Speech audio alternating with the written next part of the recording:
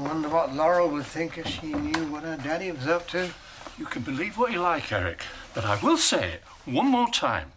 I found some kids smoking, but they ran off before I could see who they were. Oh, come on, cut the act.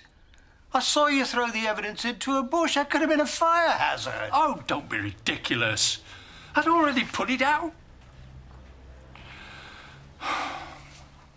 all right, all right.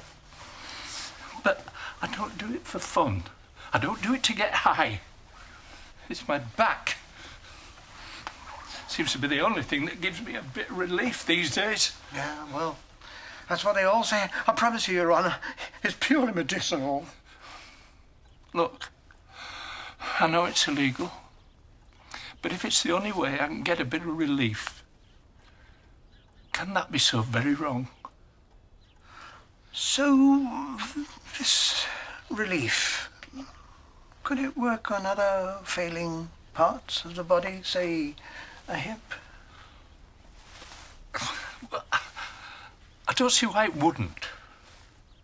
Right. Then you and I can come to a nice little agreement.